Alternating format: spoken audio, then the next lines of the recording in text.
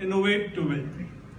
Now, I would like to pick up the thread from where we left in the last forum, and I take the liberty of quoting Mr. Vijay Jain. He had mentioned in the last forum that India is going to change in the next five years, and we have got four more left to set our house in order. Today, as we are left with three more, so let me take an attempt to get you closer to the dreaded word called ERP.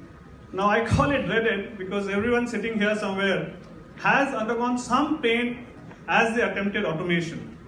We've always believed, you know, that innovation is synonymous to smart automation and the first step, in fact, to get uh, an ecosystem for the jewelry business, which is typically IT enabled. Now let's understand, you know, to get a deeper insight, let's understand a few processes that we do as retailers here. The first one I'm going to talk about is procurement. Every retailer either buys jewelry in bulk or in singular pieces, segregates it up, then has reconciliations which might be error prone. A simple Google spreadsheet embedded in the system could have actually solved the problem, automated it up, and would have been seamless.